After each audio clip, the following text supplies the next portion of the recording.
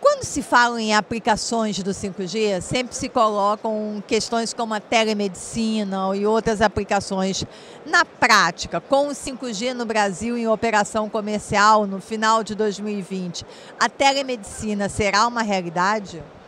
Uh, sim, né? o que deve acontecer num primeiro momento é que os os operadores devem lançar planos de banda larga mais atrativos, mais interessantes, né, com maior franquia, maior velocidade. Então essa deve ser a primeira aplicação do 5G. Né?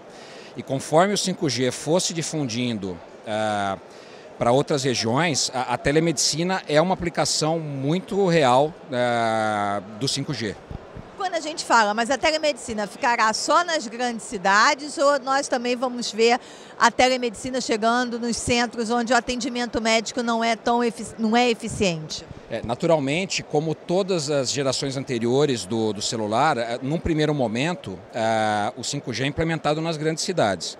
E aí a área de cobertura, a área de atendimento vai se expandindo pouco a pouco, né? E começa a atender também regiões é, mais distantes que esperar mais do 5G?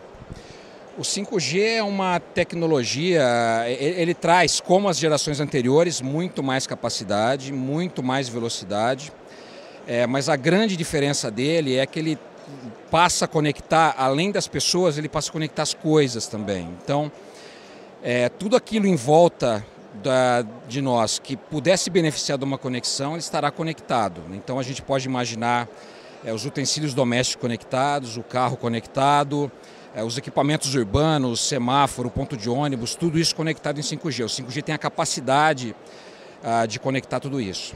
5G então não é apenas um, um novo G?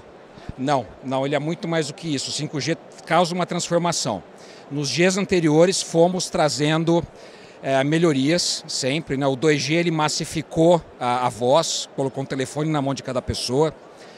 No 3G começamos a navegar na internet. No 4G essa navegação de internet ficou bem bacana. Hoje a gente assiste, assiste vídeos, YouTube. É, e com o 5G é a conexão das coisas. A sociedade toda vai estar conectada.